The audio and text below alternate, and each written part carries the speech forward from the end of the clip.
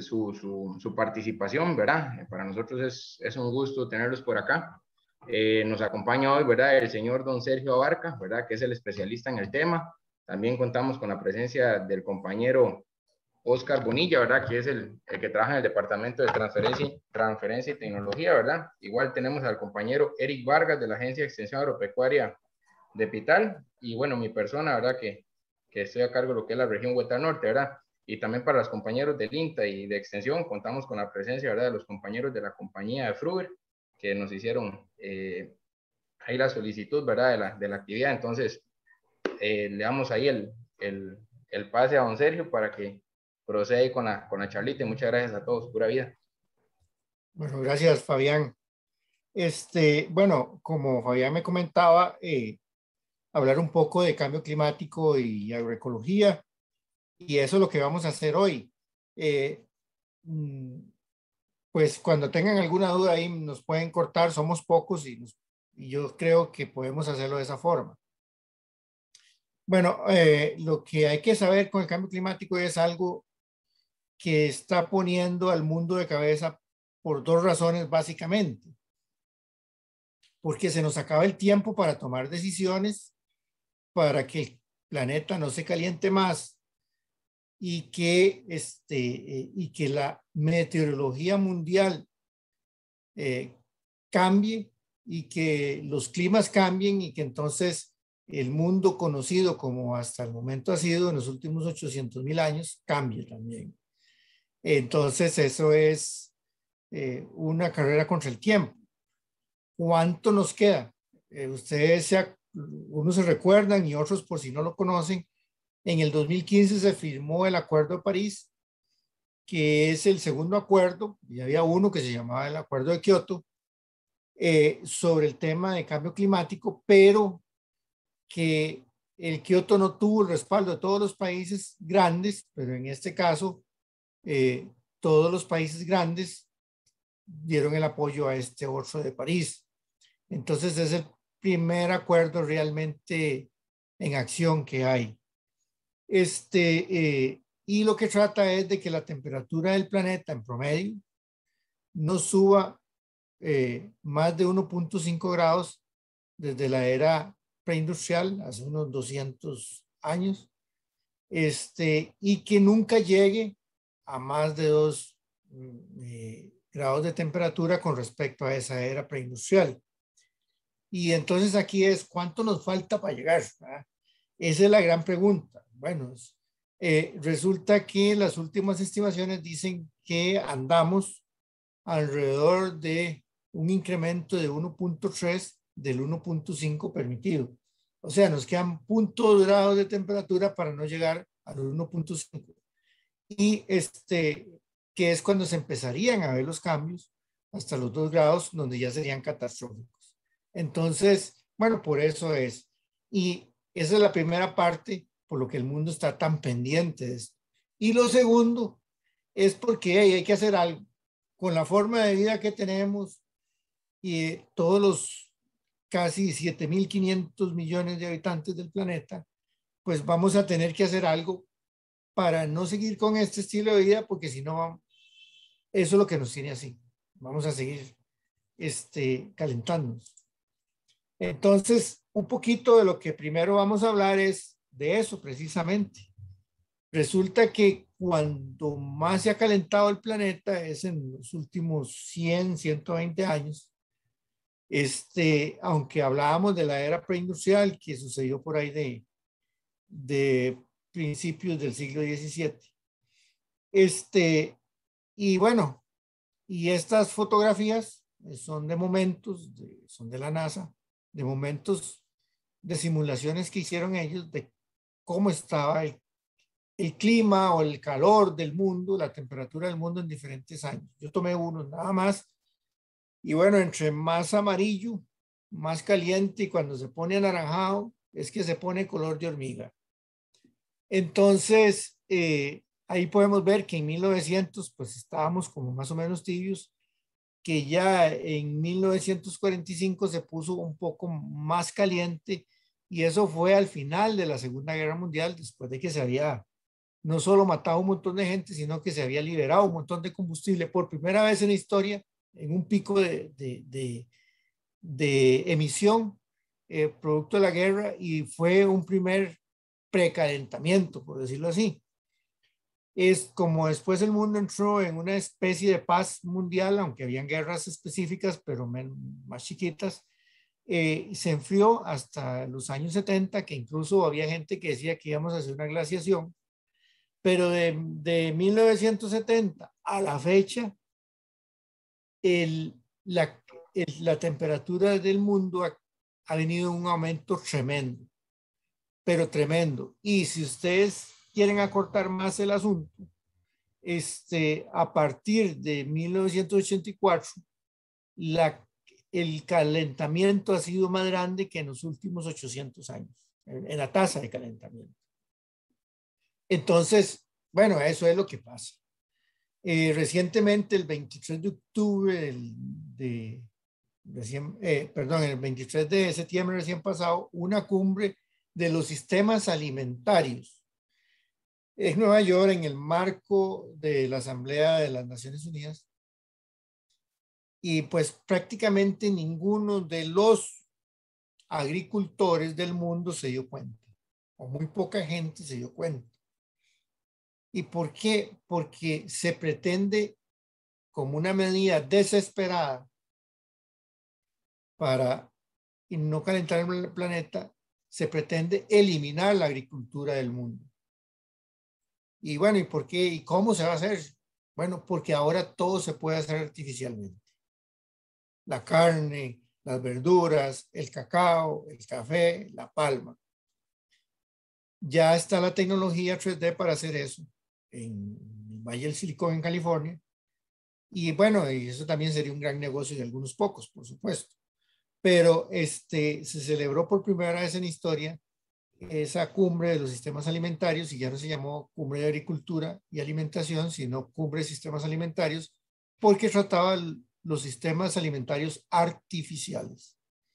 Bueno, eso es producto de, que la gente anda viendo quién queda en los negocios y además cómo se enfría el planeta. Y por eso toma importancia todo este tema en relación a todos los que sembramos, aunque sea un, aunque sea un rabanito. Este, esta es otro, otra situación de cómo está variando. En este caso es el casquete polar de las, del Polo Norte y, lo que se ve ahí como una faja es Groenlandia. Y bueno, así viene eh, bajando la, el casquete polar. Lo que se ve más azul aquí es ya lo que se está ya derretido, ¿verdad? Y bueno, este, y bueno, esto, eh, ya aquí hay un gran mar, ¿verdad? Que antes no existía. Eh, hace un siglo más o menos, y ya los barcos pueden navegar por el casquete polar del norte libremente sin necesidad de, de rompehielos, porque ya no hay hielo. Y ustedes han visto la figura del oso polar ahí muriéndose de hambre, porque ya, el oso polar se echaba al agua y nadaba, y cuando se cansaba, pues agarraba un pedazo de hielo y se subía. Y ahora en grandes miles de kilómetros porque esto es muy grande en términos de escala, ya no encuentro un pedazo de hielo y se ahoga. Entonces, eso es como lo más simbólico del cambio climático. Nosotros estamos aquí apenas empezando con la parte de simbología del cambio climático, es qué es lo que está pasando en el mundo y por qué la gente está preocupada. En el tema del oso polar ya entramos a otro asunto que es la biodiversidad y el cambio climático, ¿verdad? Bueno, ¿cuántas especies se van a morir o van a dejar de existir? Por este tema. Para seguir en ese tema, porque lo, en estas primeras láminas lo que, lo que yo trato de hacer es como decirles, miren, vean el daño que le hemos hecho al planeta, pero en demasiado poco tiempo. Este, y bueno, este es otro, otro asunto en relación a la escala de tiempo en la que hemos venido calentando el planeta. Y esta es de la IPCC. Este, Resulta que hace 10.000 años todavía andábamos con taparrao. Eh, hace más o menos 4.000 o 4.500 años, los, los egipcios estaban, estaban haciendo las pirámides. Y, las, y la curva de, de, de, mis, de CO2 en la atmósfera era esta. No había variado mucho, venía empezando a subir, pero ya de aquí a aquí hay casi 6.000 años de diferencia. Bueno, todavía decimos, bueno, los cristianos en, en el año, eh, hace 2000 años, 2020 años, nació Cristo. Aquí está, pues todavía no pasaba como mucho. Bueno, pero eh, hace, bueno, hace 200 años Costa Rica obtuvo la independencia. Estábamos como aquí, todavía. En 1900 se inventó la electricidad este, y bueno, hace unos años sucedió lo de las Torres Gemelas y, y esta curva que sube de esta forma hubo que hacerle esta escala. Hubo que sacarla de este contexto y hacer una escala aparte para ver qué es en este muy corto tiempo, el año 84, donde estamos ahora, donde se puso bien roja la cosa. Eso es lo que tenemos. O sea, que en estos miles de años nunca sucedió nada y ahora, en estos tres o cuatro décadas, está sucediendo esto. Y en términos de concentración, esta escala que vemos aquí, este, de, pues, hasta la independencia de Costa Rica, hace como 200 años, andábamos como en 270 partes por millón de dióxido de carbono en la atmósfera. Pero hoy andamos prácticamente, bueno, ya, ya, ya en estos días estamos rompiendo los 400 partes por millón eh, de CO2 en la atmósfera y resulta que durante la era de los mamíferos, que colonizamos los animales, que colonizamos la Tierra con todos los que vemos leche, nunca habíamos tenido esa cantidad de CO2 en la atmósfera. Lo habíamos tenido en otras eras, más atrás, cuando estaban los dinosaurios. Entonces, eso es más o menos lo que estamos viendo. ¿Y qué consecuencias ahora? Ya, ya sabemos qué es lo que está pasando. La atmósfera se está llenando CO2, producto de los combustibles fósiles que estaban ahí abajo en forma de petróleo. Los quemamos para mover todos los chunches que ocupamos mover y salen en forma de humo por la mufla o las chimeneas de los carros y las fábricas y los barcos y los aviones y todo eso. Entonces, empezó a, llenarse de CO2 la atmósfera y empezaron a subir los, las concentraciones de partes en partes por millón y ya estamos en 400 partes. Y entonces empezamos a ver que hay asuntos del clima que empezaron a cambiar, como estos. Resulta que antes, y ahora estábamos hablando Eric y Fabián, y bueno, Oscar y yo, y creo que había alguien más de ustedes ahí en la conversación, sobre, sobre, sobre este mes tan atípico, este octubre tan soleado, por decirlo así. Pero bueno, este es el número de tormentas cada cinco años por duración. Eh, eh, entonces aquí lo que está en celeste era lo que normalmente pasaba, tormentas de mediana duración, y lo que está pasando ahora con más frecuencia, tormentas de corta duración. Y ahora Eric dio un, un, ahí un, un dato, 100 milímetros, bueno, 100 milímetros, diría yo, Eric, en, en un día o en menos de un día, como dice Eric. Este, eso es, 100 milímetros es 100 litros de agua por metro cuadrado. Entonces, si tenemos un metro cuadrado, regamos un litro de agua en ese metro cuadrado, y el agua va a subir un milímetro en ese metro. Y por eso llama un milímetro. Y o la otra cosa visualizarlo es poner 100 litros, uno encima de otro, encima de un metro cuadrado, y vamos a tener una altura de litros de agua. Entonces, eso es lo que estamos viendo.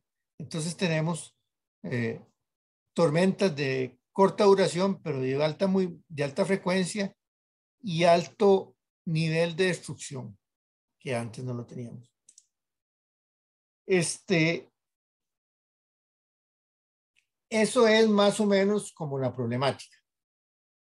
Ahora, bueno, ¿por qué ahora todos los que trabajamos en agricultura tenemos que saber de esto?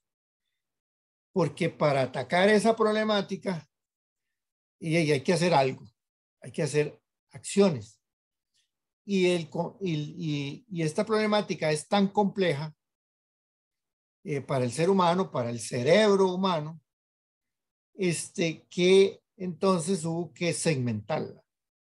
Y entonces ahora, cuando hablamos de cambio climático para la agricultura, hablamos de tres segmentos grandotes. El primero es de la mitigación, que es la reducción y el secuestro de gases de efecto invernadero. Los principales son el CO2, que es el dióxido de carbono, el CH4, que es el metano, y el óxido nitroso, que es eh, el N2O. El único gas que podemos capturar por la vegetación o por la vida es el CO2 y le llamamos en dos procesos, captura, que lo hacen todas las hojas de las plantas que crecen, y la retención, donde tiene que haber un almacén. Por ejemplo, lo más fácil es pensar en un árbol donde las hojas de los árboles capturan CO2 para hacer fotosíntesis y el árbol retiene en su fuste, en su tronco, en su parte leñosa y en sus raíces leñosas ese CO2 por el tiempo que ese árbol viva. Cuando se muere el árbol o lo quemamos, lanzamos de nuevo ese CO2 a la atmósfera.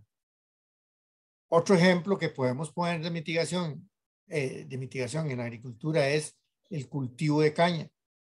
Resulta que si ponemos una hoja de un árbol, no sé de los árboles que hay allá por donde ustedes, por San Carlos, pero por ejemplo, ponemos una, una hoja de ceibo y ponemos una hoja de caña de azúcar a fotosintetizar y medimos la tasa de fotosíntesis de esas dos hojas, la hoja de caña deja, como diría uno, deja perdida a la hoja de ceibo.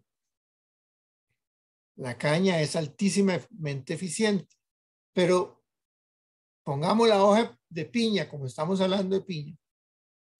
La hoja de piña y la hoja de, de, de caña está como la selección de nosotros con Honduras, empatados. Son demasiado eficientes en la captura de CO2 el problema es que estas plantas no tienen sistemas de retención, no tienen fustes donde poner o madera, donde poner el linocelulosa, ese carbono capturado. No tiene un órgano de almacén temporal de carbono. Entonces, bueno, la caña, no hay problema porque en el tallo todos los años la exprimimos y sacamos el jugo para hacer la caña para hacerle el azúcar y el bagazo lo quemamos. Y ahora vamos a ver algo. En el caso de la piña, es una planta extremadamente evolucionada, ¿verdad? Y resulta que este, eh, es tipo CAM, ¿se acuerdan? Tiene los dos mecanismos fotosintéticos, el C3 y el C4. El C3 es el del árbol, el C4 es el de la caña y la, y la piña tiene los dos. O sea, puede cerrar los estomas y seguir volándole a la fotosíntesis. Entonces, este, eso es lo que sucede. Pero la piña, como es más evolucionada, ya no, ya no tiene una estructura de sostén como el árbol, o mucho menos como la caña, que se llama la caña propiamente. Este, ya eso no lo tiene, ya tiene una estructura de sostén más pequeña. No conozco mucho de la, de la anatomía de la caña, pero este, ya es más pequeña y bueno, eh, lo único que ustedes siembran a 72 mil plantas por hectárea, entonces eso sí es una altísima eficiencia de captura de carbono y ahorita vamos a ver dónde puede quedar.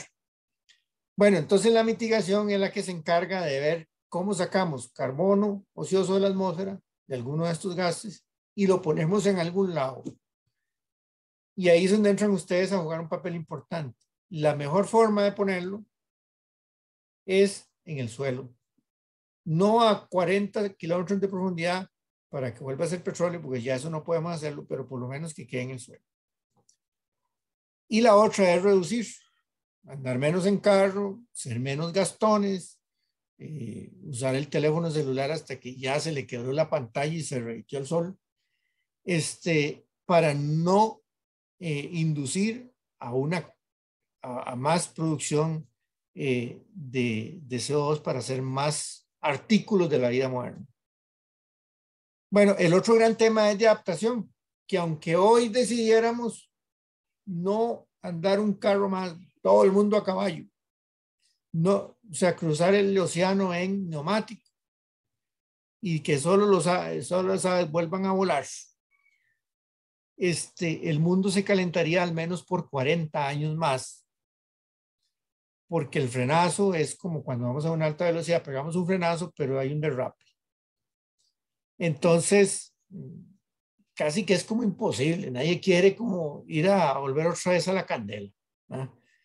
Y, y somos tantos que no alcanzaría la cantidad de cosas que tenemos que comer, producir para comer en este mundo de casi 7.500 millones de personas. Entonces, uno puede predecir, y eso es lo que hablan los expertos de cambio climático, que el mundo se va a seguir calentando. Lo que queremos es que se vaya calentando a una tasa más lenta para que nos dé chance. Y en ese, en ese periodo siempre vamos a tener que adaptarnos. Las cosas van a tener que cambiar. No hay otra. Y es mejor decir, como cuando le dicen a uno, ¿cómo quiere? ¿Lo empujo o se tira? ¿Ah? Eso es más o menos la adaptación. Este, es mejor decir, bueno, mira, déjame, voy a pensarlo y yo me tiro tenemos que ir pensando en los ajustes a los sistemas de producción para aumentar la resiliencia al cambio climático. Ustedes no tienen tanto problema en piña porque la piña es de las plantas mejor adaptadas al cambio climático. Pero otros tendrán otros problemas. Ahí vamos a verlos ahora. Y el otro tema grande que es de estudio del cambio climático es la gestión del riesgo porque, bueno, nos estamos haciendo más vulnerables en los sistemas productivos y vamos a ver que la vulnerabilidad es de todo tipo. Unas plantas crecen más raro, otras ya no crecen donde se ponían y otros, y otros en las ciudades cada rato nos inundamos. Eso es lo que está pasando. Bueno, y eso se le atribuye mucho al cambio climático. En términos del negocio, porque todo el mundo tiene que producir algo para vivir, eh, también eso se afecta. Entonces se dice que la mitigación es de interés global y está ligado al mercado de productos. Por eso nos están pidiendo cualquier cantidad de sellos y cualquier cantidad de cosas y cada día nos ponen una cosa más para producir. ¿ah? Y seguramente, ahí están los gerentes de producción que dicen, bueno, es que ya cuando vamos llenando el último escalón, de, la, escalera nos ponen otro, otro escalón, es como una escalera sin fin.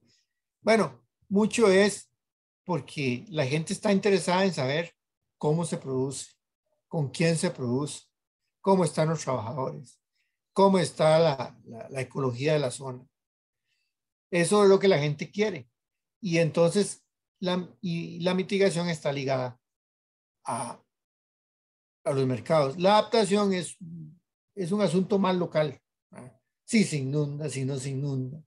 Y está relacionada a que yo pueda sacar un contenedor de un producto y que no quede ahí atrapado en el 32 porque se vino un terraplén, porque se vino una inundación o como dijo Eric, o se llenó una parte de la carretera donde ya nadie pasó y perdimos el barco. O sea, tenemos que adaptarnos para que eso no pase frecuentemente.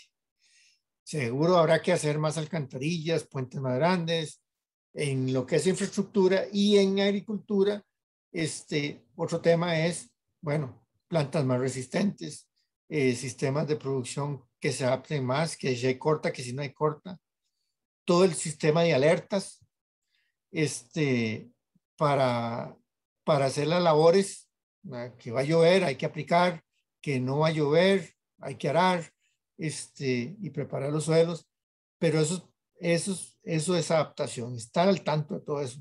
Y la gestión de riesgos es, bueno, ver cómo hacemos para no producir tan, tanta pérdida por producto del clima. Y hay pérdidas de todo. Si se inunda la empacadora, si se inunda el campo, si no pudo salir el contenedor. si la piña no creció o creció diferente y eso disminuyó la calidad porque las horas luz fueron diferentes. Este, ya para entrar, supongamos, en cada uno de estos temas, la mitigación en Costa Rica hace muchos años, Costa Rica es un país bastante adelantado en este tema, una proclama de carbono neutralidad y este, Costa Rica seleccionó que la forma de hacer mitigación era a través de la carbono neutralidad. Hace algunos años eh, se decía, bueno, por lo menos a mí, y ya viejo me mandaban a la pulpería, ya sabe quién, este, eh, me decían, oiga, vaya a comprar un bombillo, pero que sea LED. Entonces, guarde, tráele un bombillo incandescente, ¿verdad? Este, entonces, LED, ¿qué significa LED? Son unas siglas en inglés de desarrollo con baja emisión. Este, y bueno, así era, empieza. El sistema de carbono neutralidad empieza a decir, en mis procesos de producción yo voy a tratar de reducir la emisión por unidad de producto, por piña producida, por caja producida, por lote producido, por batch producido, en el caso de los animales, por vaca producida. Y así es como, y esa es la parte importante, es cómo reducimos cada vez más la emisión de CO2 y de gases de efecto invernadero por cada unidad producida. Y bueno, y como yo el día que ya tenga emisión cero, cerré la planta, eso es imposible, yo la voy a reducir un 10, un 5, un 1%, cambié los bombillos y me ahorré un punto 5. Eh, cambié el sistema de distribución de agua caliente y bueno, me ahorré un punto 2. De esas son las magnitudes que estamos hablando en una planta. Este, entonces viene el, tema de que tenemos que ir a las remociones que es donde Costa Rica entra con la carbono neutralidad. Y como decía mi abuela, el que reza y peca empata. Entonces, por un lado mito y por otro, este, pues capturo. Y entonces empiezan a tener importancia todos los sitios que están en regeneración natural, los sitios mm, que están de bosque, que los dejamos por alguna cosa, porque esos van a ser no solo van a ser reservorios de, diversidad, sino van a ser áreas de compensación. O sea, ahí es donde eh, empato, eh, y esa es la rezada. Esos sitios de compensación. Entonces, en Costa Rica se permite eso. No en todos los países del mundo, porque no todos los países del mundo tienen los climas nuestros. Entonces, en el sector agropecuario tiene, eh, tiene el mayor potencial de captura y retención de CO2. Bueno, ¿por qué? Porque si yo tengo una empresa de vagonetas una empresa de bajo, o tractores, yo soy un emisor neto. De yo lo único que hago es ir a la bomba, llenar tanques, irme a trabajar y cuando todo ese combustible sale en forma de humo o la mufla del carro, vuelvo a ir. Y la, lo único que puedo hacer es como cambiar de modelo carro para que sea más eficiente. O dependiendo del trabajo, usar una máquina más pequeña que otra pero al final soy un emisor neto. En agricultura no, como ya, ya hablamos, las hojas fotosintetizan y entonces eso captura carbono. El tema es que hay que retenerlo, principalmente en las plantas de cultivo es eso. Entonces, eh, bueno, en el sector agropecuario, como tenemos vegetación, plantas que en sus hojas fotosintetizan y crecen, podemos tener algún, alguna este, ventaja respecto a los otros, a los otros sectores. Bueno, este, este no aplica mucho al tema de ustedes, pero eh, hay un tema que está relacionado con, con el tema del transporte marítimo, que, es que actualmente es como el 2% de las emisiones totales del mundo. No, no, es tanto, pero también es mucho. Este, y siguiendo con la carbono neutralidad, bueno, estos son ejemplos ya en la parte agrícola. Por ejemplo, consumir un kilo de frijoles ticos reduce en medio kilo la emisión de CO2 en relación a los frijoles importados de Asia. Este, ¿Qué es lo que sucede? Que nosotros no sabemos cómo producen en China los frijoles, pero sabemos que el barco viene quemando CO2 para moverse para cruzar todo el Atlántico. Y entonces al final, casi que una tercera parte del peso del barco no son frijoles, nos dice que se tiene que quemar en el trayecto. Entonces, con solo el hecho de transportar los frijoles como un proceso transatlántico, este, se emite medio kilo de CO2 por cada kilo transportado.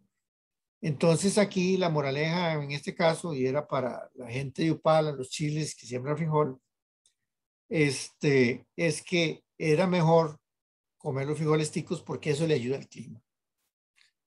Y estamos haciendo mitigación. ¿Por qué? Porque entonces mi huella de carbono, la mía, la Sergio Abarca y la de cualquier otra persona, empieza a disminuir porque yo ya no estoy comiendo frijoles de la China. O sea, eso con la piña, otros nos están viendo así para que vean por dónde va la procesión. Este es el ejemplo que yo les ponía del, del, del, caso del azúcar. Este es un trabajo que se hizo con gente del INTA y del INTA de todo lado, porque en ese tiempo también eh, Chávez era, era miembro de la Junta Directiva del INTA y el otro era un compañero que todavía está ahí. Bueno, este, el tema es que cuando sembramos la caña y, ponemos la caña y ellos la tomaron, bueno, porque les interesaba la caña, pero además yo lo tomé porque la caña es muy eficiente en la captura de carbono, es que eh, todo ese humo que ustedes ven ahí de ese ingenio, pasa a alguien que no sabe y dice, y es ahí donde tenemos que empezar a defendernos nosotros en la parte agrícola. Vean qué contaminación, vean qué humarascal están saliendo de ese, de ese ingenio. Eso hay que cerrarlo. Hay que hacer el azúcar artificial. Eso es lo que podemos oír de una persona muy ambientalista que a alguna ONG le paga. Este, eh, en el caso de, nosotros, y ahora ustedes que también lo van a saber, deben saber que, ese humarascal es del bagazo, de este que está aquí, después de que murieron la caña y que ese bajazo constituye el 42% del carbono de la biomasa de la caña. Y que en el ciclo de la caña un 17% del carbono que la caña capturó queda en el suelo en forma de carbono orgánico, que un 42 es bagazo, lo vamos a dejar ahí, y que un 20 es el carbono que se va en el azúcar. Entonces, eh, este ciclo es de 60 toneladas de CO2 por, hectárea por año. Esto es, que está en porcentajes. Este, y bueno, ¿qué es lo que tenemos que saber? Que ese humo que está saliendo ahí no es contaminación. Es CO2 de un ciclo biogeoquímico corto que es el de la hoja, la caña. Entonces resulta que esta bendita caña todos los años captura 60 toneladas de CO2. Un 42% va a ser bagazo que lo quemamos, pero que el año entrante, ¿qué va a pasar? La planta lo va a volver a capturar. Entonces lo tenemos en un ciclo bioquímico corto. Esto es lo que tenemos que conocer de la agricultura. Entonces resulta que no es cierto que ese humo sea de combustible fósil, sino ese humo es de la biomasa de la caña que lo vamos a, volver, a hacer CO2 y para mover las calderas y mover la maquinaria y producir y vivir. Este, y que el año entrante, pues la planta la va a volver a tener ahí almacenada en su biomasa. Esto no es contaminación. Esto es reciclaje y esto es un ciclo biogeoquímico corto. Este, y esto es carbono neutro. ¿verdad? Entonces, esto es lo que debemos de saber.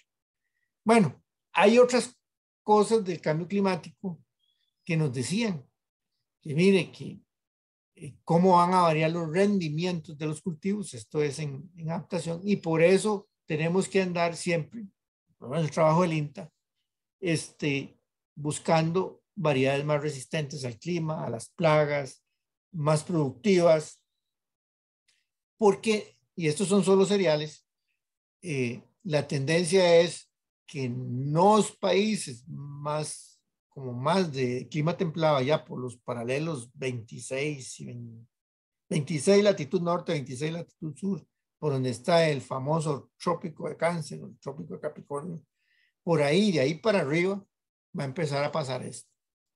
Y en el caso de nosotros también, pero no tan significativamente. En el caso de nosotros, para volver a lo que estábamos hablando ahora, hace un rato, como preámbulo a, esta charla, es que sí está pasando algo. Que la nubosidad, y esto en el caso de ustedes en Piña les uno, comienza a generar problemas de floración. Bueno, ustedes inducen y eso es muy bueno porque entonces todas las plantas florecen al mismo tiempo. Pero si fuera una floración espontánea natural, eh, como sucede en el aguacate, como sucede en el café, empezamos a tener problemas de que hay un aguacate maduro, hay otro aguacate podrido y hay otro chiquititito y hay un montón de flores que se van a caer en el siguiente aguacero. Entonces, eso es más o menos lo que está pasando. Las cosechas de frutos o de las cosechas, que depende que haya una floración para que espalle un fruto y cosecharlo, comienzan a tener problemas. Yo no sé en el caso de ustedes específicamente. Eh, ustedes se rigen mucho por las horas luz, este, pero eh, lo que hemos visto es que en los trópicos eh, han habido, ha habido un, incremento, un incremento de la nubosidad. Y cuando hay un incremento de la nubosidad, empezamos a tener problemas de floración. Y esto es un efecto del cambio climático. No necesariamente tiene que llover y no, no, no solamente la... Entonces, eso es lo que tenemos. Eh, bueno, esto solo para decirle en términos de las pérdidas que el sector agropecuario es uno de los que sufre más, pero, pero que nadie se da cuenta. Esa la voy a pasar rápido. Y hay otro tema que nos interesa a nosotros, en el caso de ustedes también, no sé cómo andan ahora los niveles de fitóftora y mosca, de la, mosca del establo y todos los problemas que ustedes tienen. Con estos fenómenos climáticos viene un, un problema de irrupción de plagas que normalmente tienen su origen en eventos meteorológicos extremos. Después de, un, de una inundación, un gran aguacero, se levanta una plaga. Este, en Costa Rica, la mayoría de los eventos climáticos extremos ligados a la agricultura se ligan, están ligados con el fenómeno Venus, que es el niño a la niña. Y la segunda temporada de huracanes del Caribe, como ahora nosotros estamos en una temporada de huracanes, que sí hay huracanes, pero están en el centro de, del océano, entonces no llegan a las costas y entonces por eso estamos con este octubre tan soleado. Entonces el cambio climático está trayendo un incremento en el número de eventos y mayor severidad intensidad de estos fenómenos. O sea, cuando nos pega, nos pega. No necesariamente siempre nos va a pegar. Y después de que sucede un evento de estos, viene una espolulación de hongos, una cría de ratas, en el caso de, de, la caña en Guanacaste, seguramente una proliferación de mosca estomoxis, en el caso de ustedes, pero normalmente va a venir algo así. Y eso es lo que tenemos que estar alertas y esto se atribuye también al cambio climático. También ahora le dicen a uno, esto es como, como que cuando le decía a uno la mamá, no sé si a ustedes, yo soy muy viejo, eh, le decían, ahí viene el coco, ahí viene el fantasma. Ahora es muy difícil predecir cuándo va a haber niña y niño. De un momento a otro puede ser que suceda. Cuesta más predecir. Entonces, eh, mira, es que hace rato dicen que viene el niño. Cuando viene el niño dice aquí así, pero no llega, no llega. Bueno, eso también estamos teniendo. Que antes normalmente los niños y las niñas, el cambio de fase, de fenómeno Venus sucedía entre abril y junio todos los años. Ahora puede ser que suceda hasta octubre o noviembre. Entonces, eso es otra alteración. En el caso de nosotros, era muy fácil porque la temporada de lluvias en, en, las, en las, zonas de, de, ciclo más definido, hidrológico más definido, empezaba en mayo. Y se asociaba muy bien a abril a junio, cuando también sucedía lo del niño y la niña. Ahora ya no. Este, ¿Y ahora qué nos vamos? Seguro vamos a un niño en el próximo año. ¿Cuándo llegará? No sabemos. Bueno, esto es el niño. Este, hay un cambio de, de, presión entre las costas del Perú y el Ecuador y las costas de, Australia. Y bueno, este, el mar Pacífico se calienta y hace una evaporación muy grande que corta las lluvias. Y eso trae el niño. Este, Eso es lo que pasa más o menos en el, en el mundo y es impredecible. Lo único que sabemos con el cambio climático ahora es que estos fenómenos, estos cambios, cuestan predecirlos, no están ocurriendo en fechas definidas y además se están dando con mayor frecuencia. Eso es más o menos este, lo que está pasando. Y bueno, eh, esto es un problema para la agricultura porque cuesta mucho predecir cómo va a estar el clima. A veces los meteorólogos hacen el esfuerzo, pero hey, por más que esfuerzo que haga y por más este equipo que haya, tal vez es difícil predecirlo. Este, perdone. ¿Qué está pasando en Costa Rica? Voy a volverme la, atrás. Este, ¿qué está pasando en Costa Rica? Por ejemplo, con estas cosas. Es que, bueno, este es uno de los sitios que tiene más datos meteorológicos en el tiempo. Casi ciento y resto de años de datos. Es Cañas. Y bueno, este, en Cañas esto es lo que ha venido sucediendo. Estas son las curvas de precipitación en de la campana de Gauss para sacar probabilidades y cómo se han venido corriendo. Cañas es un sitio que se está volviendo más seco. Eso no es nuevo, simplemente que esto cuantifica cuánto seco más se hace.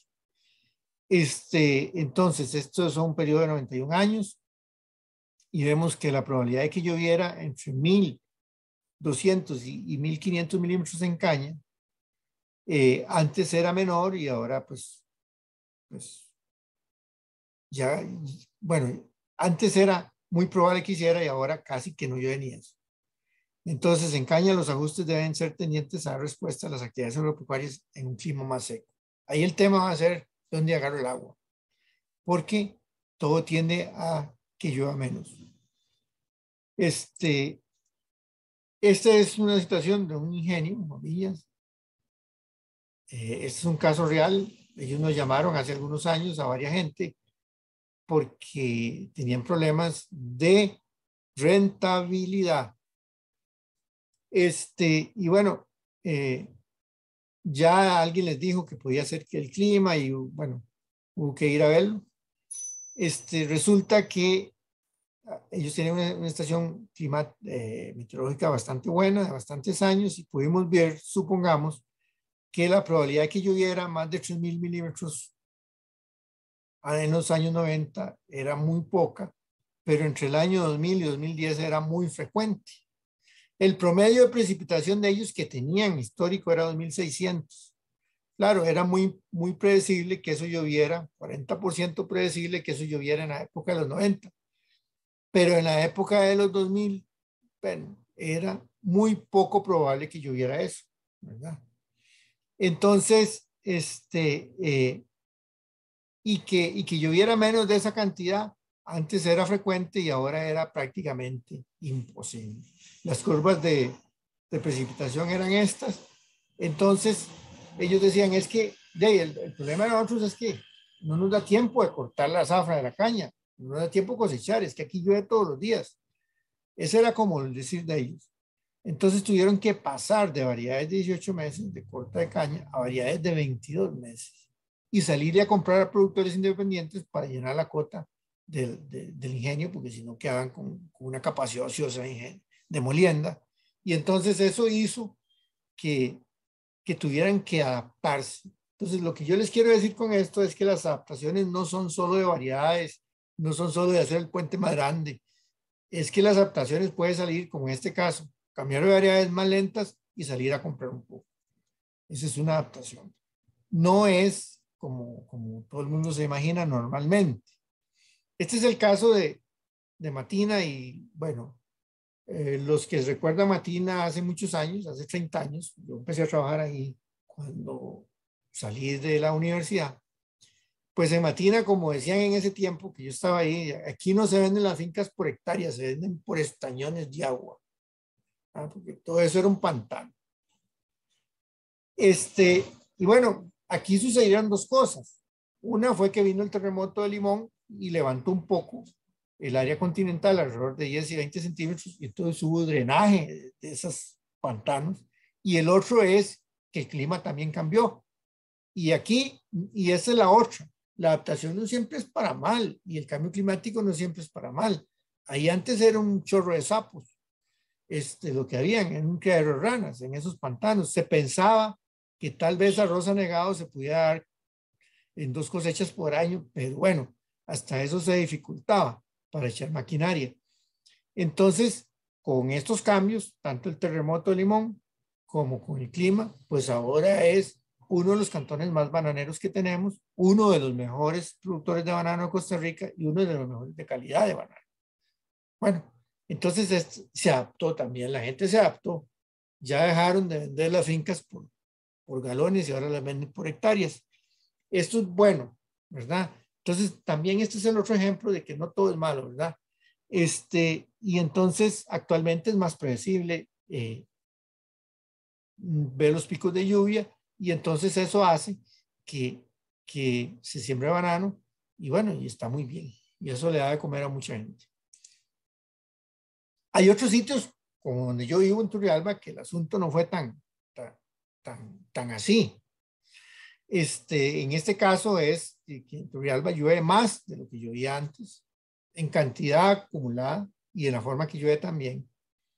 Y bueno, mi abuelo, para ponerles un caso ahí de anecdótico, se murió diciendo que se acabaron los buenos cogedores de café, que ya no habían hombres, que antes un cogedor cogía 22 medidas por día y que ahora no pasan de cuatro. Y se murió hace como una década. Bueno, ¿Qué sucedió para que el café dejara de producir tantísimo? ¿O es que dejó de producir tantísimo? No, pues lo que está pasando es que el clima se modificó y, y antes cuando había un periodo seco más definido este, y menos lluvioso, había una florea y un cuaje del fruto mejor y entonces todo el mundo iba a coger más fácilmente. Ahora, como el café está, está como diría alguien, como el café está medio loco, no sabe cuándo florecer, porque llueve, hace sol, vuelve a llover, vuelve a hacer sol. Cuando hace sol, el café trata de florecer como un estímulo en la pérdida de, del nivel de humedad del suelo. Eh, este, pero ahí ya empezó a, a, cambiar sus primorios florales, ya dejó de ser vegetativo floral a, a, a, florear y empieza a llover y se cae la flor.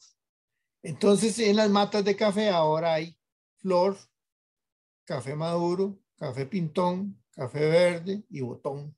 Y todavía llega y le dice a uno el café, mire, solo el rojo. Entonces ya los cogedores tienen que ir grano por grano. Y ya entonces se volvió más difícil el asunto de la cogida de café. Y dejó de ser tan rentable como fue hace dos o tres décadas. Incluso los rendimientos bajaron. Entonces, no siempre este, eh, el tema del cambio climático va a traer bueno, como pasó en Matina. Aquí no está pasando, en este caso el cultivo del café, esto.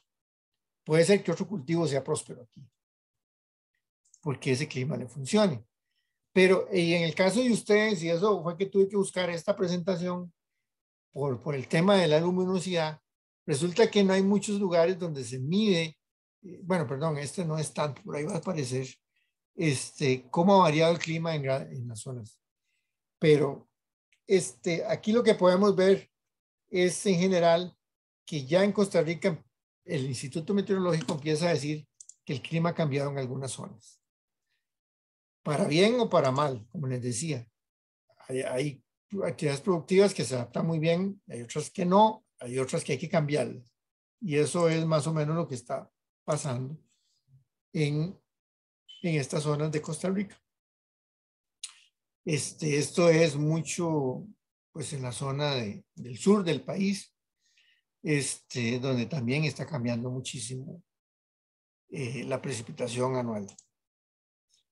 Este es el brillo, esta es la variación de temperatura. Este es un, en Costa Rica está variando en algunos casos, ¿verdad? Pero en el mundo, y esto es un trabajo de la de la Administración Oceanográfica y de la Atmósfera de los Estados Unidos, que dice que en el mundo el porcentaje de noches más calientes en Estados Unidos está a está incrementando. Las temperaturas mínimas son las que están incrementándose más. Eh, bueno, en las zonas frijoleras en el norte, la presentación de variación reduciendo el medio, de medio grado de gradiente de temperatura entre el día y la noche. Esto es muy sensible, esto, el frijol es muy sensible a estos cambios. La caña de azúcar es altamente sensible en términos de la concentración de grados Brix y supongo que ustedes también. Ocupamos noches más frías y, y la parte del día más soleada para que haya concentración de Brix. Bueno, este es un asunto que está relacionado con que estos son los factores de producción de cualquier cultivo y la variabilidad climática está generando pues mm, una influencia sobre todos estos factores de producción. Está cambiando la concentración de, de CO2 en la atmósfera, está cambiando los niveles de radiación, está cambiando los niveles de temperatura y las características del cultivo. También están cambiando otros, ya no hay tanta agua, el nitrógeno se le exhibia muy fuertemente y hay que abonar más. Este, las plagas irrumpen más fuertemente y con más severidad. Este, y hay más agentes contaminantes producto de todo esto, como eh, efectos biocidas de los plaguicidas. Bueno, ¿qué le podemos ir diciendo a ustedes en este caso? Que la agricultura ya era difícil y compleja y, y que ahora es más en el caso de nosotros, es más. Este, bueno, nosotros en estas etapas y donde estamos en el INTA, lo que hacemos es eh, encaminarnos a conocer la variación ambiental, que en eso es lo que trabajamos algunos, este, y ver la plasticidad de los sistemas productivos, cuánto soportan de temperatura, de radiación, de humedad, de, de lluvia, y bueno, y cuántos efectos negativos nos podrían acarrear. Este es un caso eh, también atendido por el, por el INTA. Este, este es el caso de repollo, ya, ya son como, como situaciones muy extremas donde pues el repollo en Costa Rica no debe florecer. Y es también de lo que estábamos hablando, es, un, es, un, es una crucífera de días largos en floración, se ocupa muchas, eh, muchos días largos. Uno pensaba eso, las variedades que se siembran en Costa Rica son ancestrales, 30, 40 años de sembrar la misma variedad. De un pronto a otro, en la zona de, de Pacayas, empiezan el, el, el, el repollo a hacerse de esa forma. Se desarrolló, trató de florecer. Ya toda la gente sabe y entonces ya empiezan a buscar, de, empiezan a buscar al INTA para ver qué hace. Este, y bueno, ahí ¿qué hubo que hacer? Hubo que cambiar de variedades. Este fue otro caso donde ya es, este fue muy exitoso. Bueno, en aquel, para contarles, terminamos cambiando de variedades por variedades como más neutras a la luz y, siguieron produciendo los productores. Este fue otro caso donde nos llamaron. Eh, incluso compañeros que ya están pensionados. Este, y lo que estaba pasando es que el mamón chino, el rambután, dejó de producirse en la zona de Pérez Celedón, un poquito más allá en Cajón de Pérez Celedón. Este, y bueno, después de exportar, yo pienso que la siguiente lámina, después de exportar eh, bastante toneladas en el 2004, llegaron a prácticamente no exportar en el 2010. Este, ¿Y qué fue lo que sucedió? Pues que no florecía el rambután. Eh, bueno, resulta que Ramután, lo que vimos es que está, o sea, Ramután llegó a Costa Rica con una misión china de Taiwán y alguien sin mucho conocimiento de causa, porque les aseguro que los chinitos sí lo tenían, dijo, mira, allá en el sur la gente está muy deprimida, vayan siempre esa caramba, allá al sur, sur. Entonces lo sembraron en sitios demasiado lluviosos y esos sitios demasiado lluviosos cambiaron el clima. Entonces el rambután ya no floreaba, ya no florecía como antes. Este, entonces eso trajo una reducción de la producción y generó todo un cambio en la producción. Este, muchos trabajos del INTA creo que todavía están ahí. Este, eh, empezaron a ver dónde florecía, por qué no florecía, pero el tema es que hubo que hacerle al rambután canales de, desagüe, hubo que hacerles, como hacerles fingir el estrés hídrico, porque ¿qué resulta en esto? ¿Cuándo florece una planta? Ay, florece en verano. ¿Y por qué florece en verano? Porque de, es más bonito, las flores son muy pintorescas y el verano muy soleado y todo eso, qué bonito. Pero es que realmente florece en el verano porque la planta, en su fenología, tiene un estrés hídrico.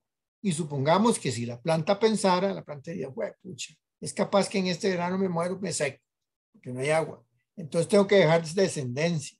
Entonces la planta trata de florecer. En el caso de ustedes no, porque hay inducción. Pero este es el caso del rambután. Ahí realmente ahora hay inducción.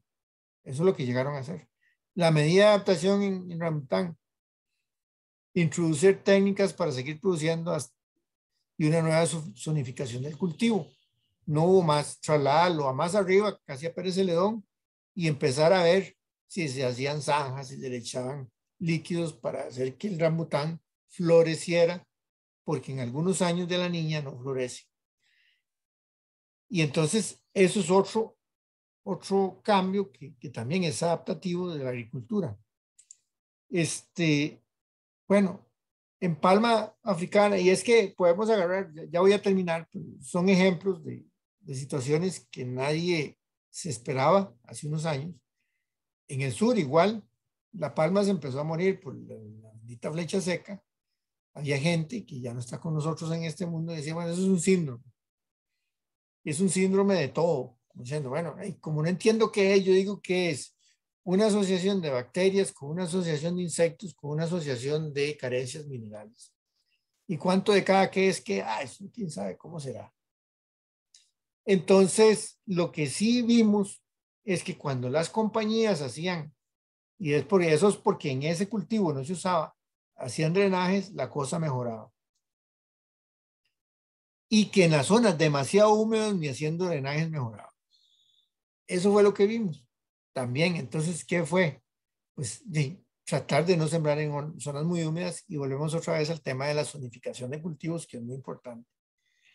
Este, y empezar a ver dónde había más precipitación acumulada, cómo habían variado en los años, cuando se sembró las primeras palmas en Costa Rica y cuando ya hubo problemas eh, y cómo había variado la precipitación. Bueno, ¿qué está pasando? Abandono de sitios de palmas sembrados, porque se inundan y a ir a sembrar a otro lado con un gran costo económico. En el café,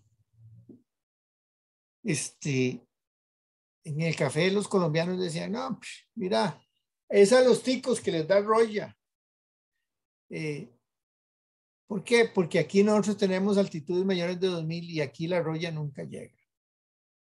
Bueno, y ahora yo les digo que este, eh, ellos toman café tico ahora porque la roya mutó, porque no solo son, que, que no solo los, los humanos con sus sistemas de producción nos adaptamos, las, las plagas también se adaptan para sobrevivir. Entonces, resulta que ahora de, eh, mutó la bendita roya, igual que mutó el virus del COVID, y resulta que ahora aguanta frío hasta 2.000 metros de altura y les pega como les pega aquí en Costa Rica a nosotros.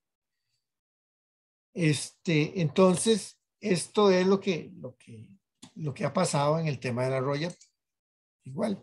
Y en el tema de la ganadería también, que es donde yo he estado más metido en estos últimos años, este, es que de las vacas no daban leche, da lástima cuando se venía un, un problema de clima en la zona de Turrialba, principalmente en la zona de Santa Cruz de Turrialba. Los potreros ya no parecían potreros, sino áreas aradas, y las vacas se movían. Este, hubo que hacer sistemas de adaptación que, bueno, han funcionado muy bien, que son los invernaderos. Y para ir terminando en este tema, lo que nosotros debemos de saber es que nosotros en, en estas áreas del trópico, estamos situados en Costa Rica, tenemos siempre una alta incidencia de plagas, siempre. Y que en la medida que el cambio, que el cambio climático avance, va a ser mayor. Entonces, este, el tema es y esto es para ilustrar que los sistemas, los los óptimos de cultivos en monocultivo, en el caso de ustedes en la piña, van a ir tendiendo a, a trasladarse a zonas un poquito más secas y de donde aún la radiación solar pueda ser alta. Este, y bueno, y que vamos a tener cualquier cantidad de plagas en el futuro. Entonces, aquí la conclusión es que, bueno, vamos a tener que seguir, haciendo ajustes a la producción. Conforme vamos viendo que, la, que algo no resulta aquí lo cambiando, vamos a tener que hacer mejoramiento genético y vamos a tener que hacer redistribución de las actividades agropecuarias.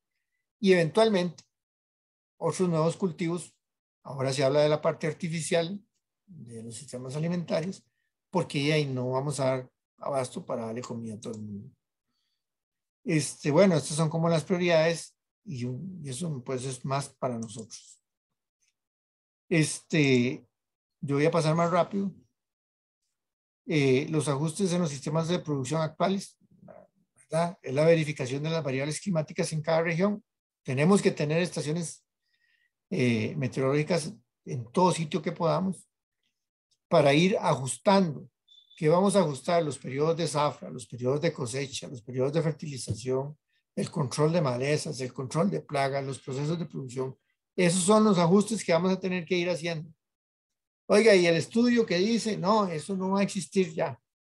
Eso va a ser su experiencia, la experiencia de su compañía, la experiencia de su finca para ese sitio específico, porque el tema de adaptación en cambio climático es del sitio. Ese sitio, bajo esa condición, yo me adapté a eso. Puede ser que me cambie a la finca de frente y el señor usaba otra densidad de siembra y otra variedad y ya eso, lo que hacía allá no sirve aquí. Esto se está volviendo de esa forma, ¿verdad? El mejoramiento genético va a ser algo que vamos a tener que seguir generando, no hay más. Y bueno, en la agricultura para adaptarse al cambio climático, la investigación científica y la transferencia son la mejor herramienta. No hay más.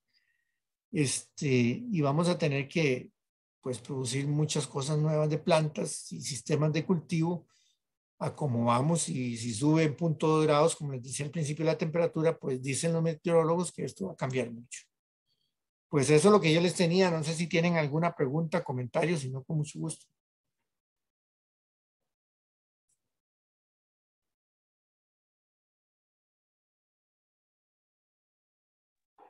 Bueno, agradecerle a don Sergio, ¿verdad? Por, por la excelente charla ahí que nos está impartiendo. No sé si los compañeros de la compañía de Fruit tienen alguna duda o algo que les podamos colaborar con mucho gusto. Bueno, buenas tardes, este, Luis Fernando. Realmente, bueno, primero agradecer a Fabián Castro, que nos ayudó con la parte del INTA acá y por supuesto a Eric Francisco, de la parte del, del MAG acá en la zona. Y a don Sergio, pues muchísimas, muchísimas gracias por, por el tiempo, el espacio que, que nos abrió. Esta capacitación realmente pues ha sido muy enriquecedora, creo que para todos, para este servidor. Entonces, nuevamente, muchísimas gracias. Bueno, no, con mucho gusto.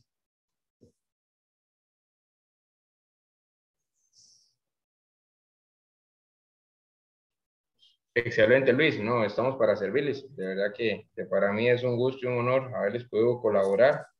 Y de igual manera, como, como, como lo mencionas por ahí, aquí estamos en la zona, al igual que Eric Vargas en la parte de extensión, ¿verdad? Yo por medio del INTA.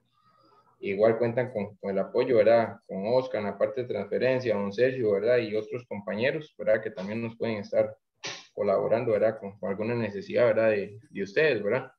Entonces, no, de mi parte también eh, agradecerles y, estamos a la orden. De igual manera, no sé, algún, algún otro con alguna consulta o algunas palabras que quieran, que quieran brindar por ahí, les agradecemos pura vida. No, de parte de la parte de, eh, gerencia de producción y bueno, hay, hay, un montón de compañeros que están en otra computadora, que todos los supervisores de, de, campo de las diferentes áreas. Eh, que están aquí presentes. Eh, no, eh, muchísimas gracias, como dice Luis, muy, muy enriquecedora eh, la charla. Sinceramente ya uno empieza a ver todos estos efectos en, el, en, el, en, el, en el cultivo de la piña. ¿verdad? Este, quemas de sol, eh, radiaciones muy fuertes, eh, corchosis, eh, cambios en comportamiento de las, de las plantas, de las plagas, etcétera, todo lo que se ha indicado, lo que ha indicado en serio, pues ya, lo, ya lo empezamos a ver en el, en el cultivo. Y este, hay que empezar a, a, a buscar alternativas de mitigación eh, para, para, un buen manejo y, y, evitar pues seguir con una caída con una caída libre en los rendimientos porque realmente es lo que hemos ido eh, palpando notando a través de los de los años ¿verdad? los rendimientos que teníamos antes no son los mismos yo sé que que este prácticamente el, se debe a factores eh, climáticos y de eh, posiblemente eh, de generación del, del híbrido, eh, producto de todo este cambio climático. Entonces, este, nos confirma lo que venimos viendo año tras año y, hay que empezar a trabajar fuerte en, qué, en qué hacer al, cultivo, qué manejos hay que, que modificar, cambiar para para evitar seguir teniendo eh, más problemas de, de productividad eh, y rendimientos. Y no agradecerle de mi parte y todo el equipo, muchísimas gracias a Fabián, a Don Sergio y compañeros eh, por esta charla tan valiosa. Bueno, con mucho gusto. Excelente, don Roberto y compañeros, de verdad, no, agradecerles también ahí de verdad la, la, participación. De igual manera, como les dije, ¿verdad? Y cuentan con nosotros en la región, igual con el compañero Eric Vargas, que por ahí nos va a decir unas palabras de, de la agencia de Capital. De igual manera con Sergio y otros compañeros del INTA, ahí estamos para, para servirles con mucho gusto. Sergio, yo quiero aprovechar esta oportunidad. Eh, si desde el INTA sale algún tipo de, de, investigación, ¿verdad? En esta parte del clima, como lo decía bien don Roberto, eh, se, han, se ha visto eh, un, un, mayor efecto, ¿verdad? Cada vez se nota más efecto de ciertas variables sobre el cultivo, ¿verdad? Y yo le, al, al, inicio, antes de comenzar la charla, yo le contaba de, del tema, por ejemplo, de, de, la corona larga que se presenta en algunos momentos, o ahora Roberto hablaba sobre la corchosis, ¿verdad? Eh, hay ciertos historiales que las fincas tienen, por ejemplo, Fruber, del clima, ¿verdad? Ellos tienen variables muy importantes del clima y también tienen datos de producción y hasta de rechazo, ¿verdad? O, o de afectación de, de, los cultivos, que si en algún momento cabe alguna investigación, don, don, don Sergio, tal vez podamos eh, aprovechar, ¿verdad? Y hacer esa correlación, ¿verdad? De variables con, con efectos, ¿verdad? O con problemas fisiológicos de la piña eh, para tratar de, de, conocer y también buscarle alguna solución, como decía don Roberto, ¿verdad? Porque sí es importante en el cultivo y se nota, todos los años se notan cosas diferentes, aparecen plagas nuevas, por ejemplo, el, este gusano cabeza roja que apareció hace varios años y ni siquiera existía, ¿verdad, Roberto? Eh, y otras cosas, ¿verdad? La, la corchosis se viene dando más problemas, eh, antes no era así, ¿verdad? Eh, hay épocas donde tenemos eh, maduraciones más atrasadas, ¿verdad? Hay, hay, hay, hay, momentos, digamos, donde el clima afecta al cultivo. Eh, tenemos los datos de las estaciones, ¿verdad? Y tenemos los datos de producción. Podríamos hacer un trabajo muy bonito de correlación de variables versus eh, problemas, ¿verdad? Eh, entonces, para que nos tenga en cuenta si en algún momento sale algún tipo de investigación de estas. Muchas gracias. De acuerdo, tenía el micrófono apagado, sí, de acuerdo, Eric, ahí veremos, sí y se presenta la oportunidad con mucho gusto. Tal vez muy rápidamente, por ahí Luis Fernando me, me estuvo pasando nombres eh, para lo del tema de, de, la, de la lista. Entonces, tal vez muy rápidamente les voy a indicar los nombres. Si hay alguno que por ahí no me lo haya pasado Luis, eh, tal vez me lo pueden hacer llegar para generarlo de la lista, ¿verdad? Tengo a Maino Rolando Alfaro, tengo a Karen Chacón, a Jesús Martín eh, García, eh, tengo a William Enrique Alfaro, Miguel Ángel Duarte, tengo a César Daniel Obando, tengo a Roberto Hernández, eh, Gerardo Soto, Diego Armando Cordero, Eduardo Enrique Navarro, Luis Fernando Germán, eh, Dayana Porras y José Yanam Castro. Eh, no sé si igual, si faltó alguno, si me lo pueden hacer llegar para, para generar la lista. No sé si están todos de esos nombres que les, que les dije, ahí igual ahí nos, nos dan el visto bueno para decir al compañero que nos genere la lista y yo se la estaría haciendo llegar, si Dios quiere, en los próximos días o si hoy mismo tal vez puedo, se la hago llegar tal vez a Luis Fernando. No sé si, si me faltó alguno por ahí.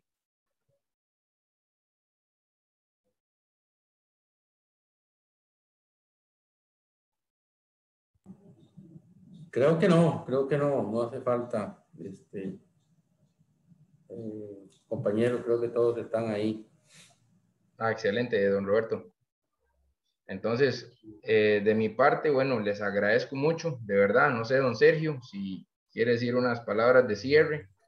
No, no, con mucho gusto, estamos a la orden.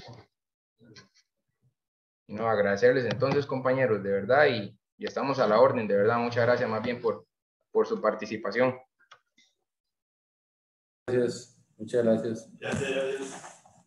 Hasta luego, buena tarde. Gracias. Buena tarde a todos, pura vida. Gracias.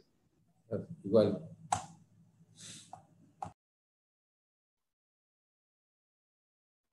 Muchas gracias y hasta pronto. Pura vida, Luis. Con muchísimo gusto. Gracias a usted. Estamos en contacto. Perfecto, gracias. Pura vida. Digo, ma, yo no sé si